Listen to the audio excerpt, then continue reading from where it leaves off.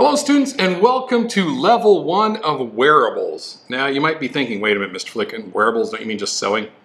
No, no, no, the sewing machine is part of that. You need to know how to use a sewing machine, and have the skills for that.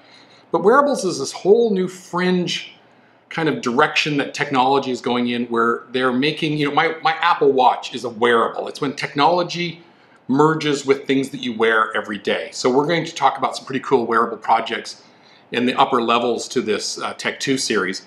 But the beginning one, level one, we need you to kind of be really good at being a tailor, at being able to sew things. So for project number one, you will make the ugly pillow. Okay, I just finished making this, so I went back to shoot this intro for you.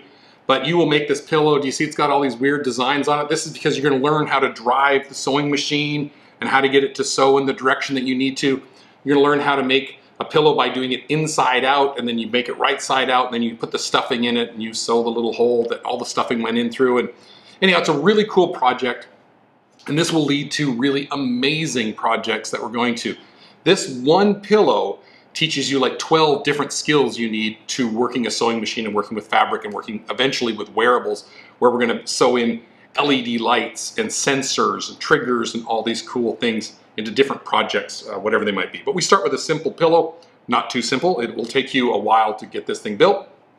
But anyhow, once you have it built, you can now then take wonderful little naps just right here on your arm like that. Isn't it? It's perfect, okay? So anyhow, have fun with this one, and uh, I can't wait to see the pillow that you make.